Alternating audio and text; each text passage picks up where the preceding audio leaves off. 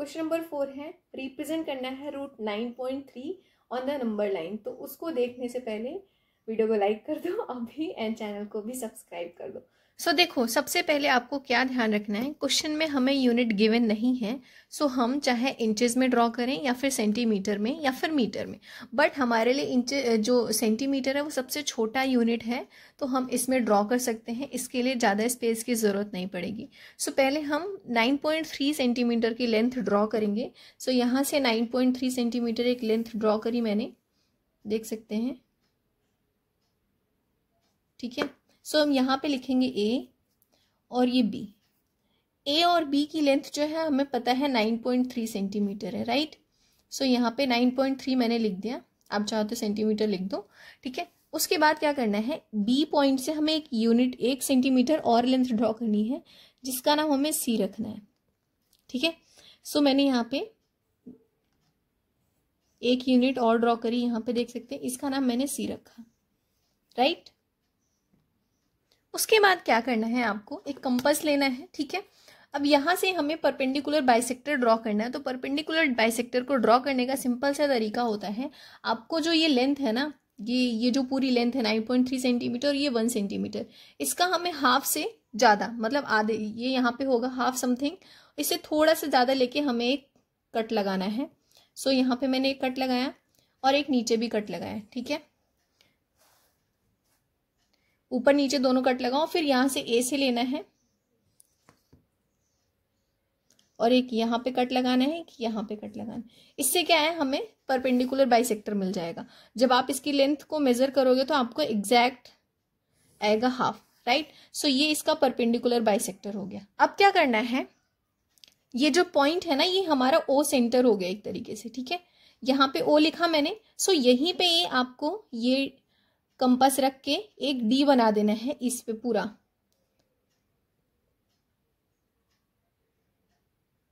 इस तरीके से इस पे रखोगे, क्योंकि ये हाफ़ हाफ़ हो गया है तो ये मिलेगा बिल्कुल यहाँ पे आके। ठीक है? तो ये मैंने यहाँ पे डी बना दिया।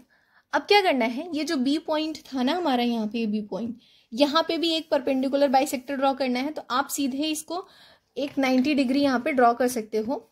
आप इसका डी को यूज़ करके सो एग्जैक्ट यहाँ पे रखो।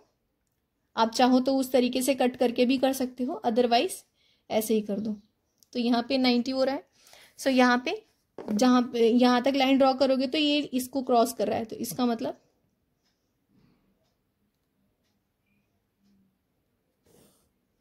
सो so, ये हमने 90 डिग्री का परपेंडिकुलर बना दिया ये हमारा 90 डिग्री का हो गया। सो so, उसके बाद आपको क्या करना है ये जो ये ओ है ना यहाँ पे एक हमने ए बी सी तो यहाँ पे हम इसको डी बना देंगे। ओ और डी को हमें ज्वाइन कर देना है तो उसके लिए मैं यहाँ पे ओ और डी को ज्वाइन कर रही हूँ।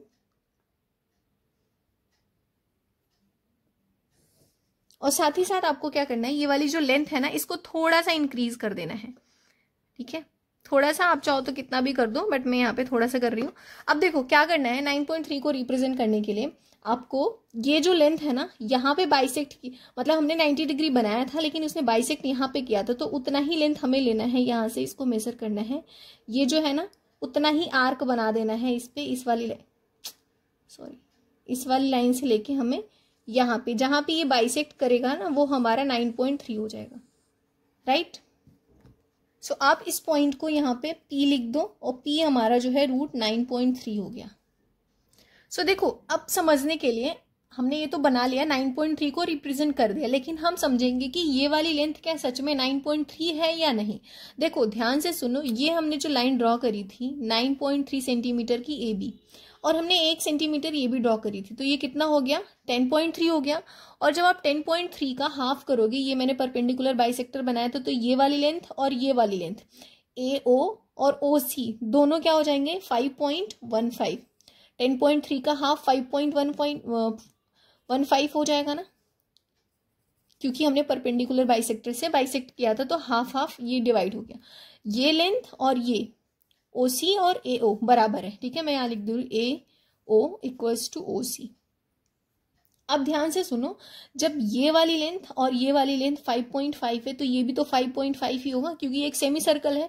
अगर मैं इस सर्कल को कंप्लीट करती हूँ तो सेंटर से कोई भी लाइन अगर हम सर्कम फेरिस तक ड्रॉ करते हैं सो वो रेडियस होता है। रेडियस अगर ये भी तो रेडियस ही हो गया तो ये भी तो अगर ये 5.5 है तो ये भी 5.15 हो गया हो जाएगा राइट क्योंकि ये रेडियस है।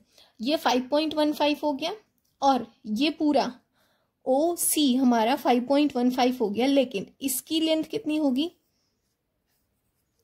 4.15 कैसे? क्योंकि ये वन सेंटीमीटर रिमूव कर दिया। ओ सी जो है वह 5.15 थी ना तो हमारे ओ बी कितना होगा?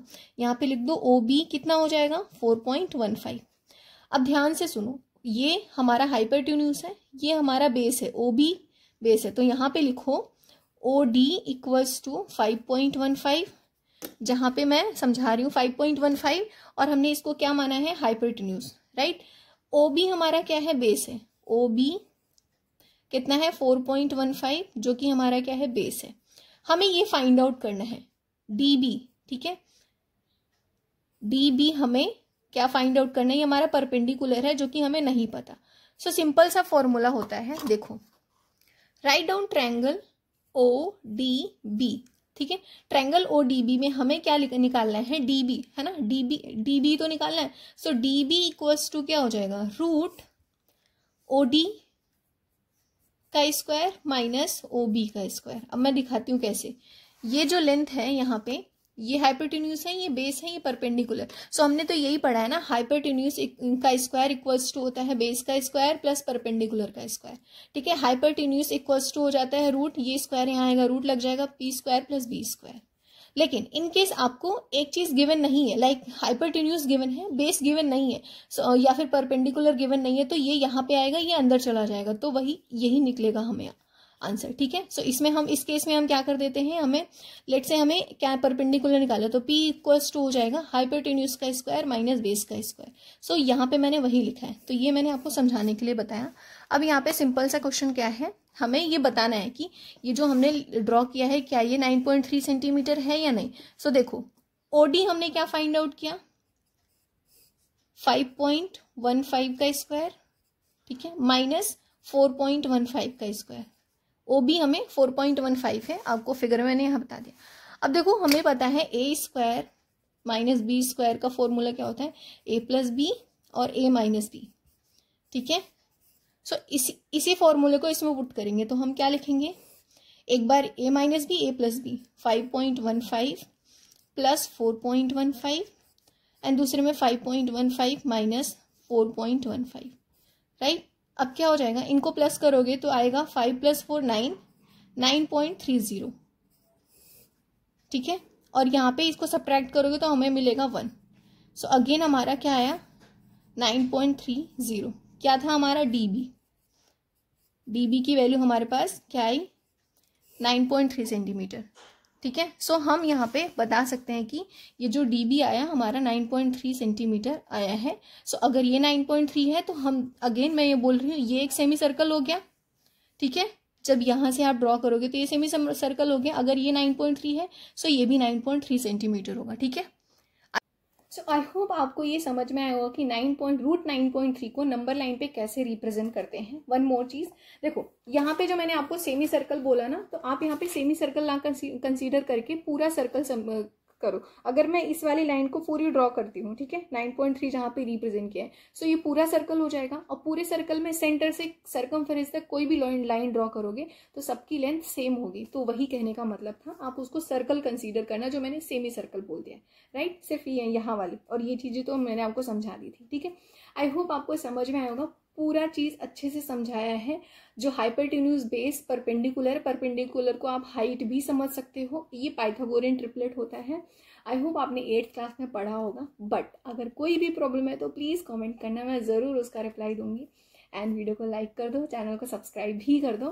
नेक्स्ट वीडियो में मैं जो क्वेश्चन नंबर फाइव है, उसको रेशनलाइज करने का है आई थिंक उसको करने वाली हूँ, ठीक है? Bye bye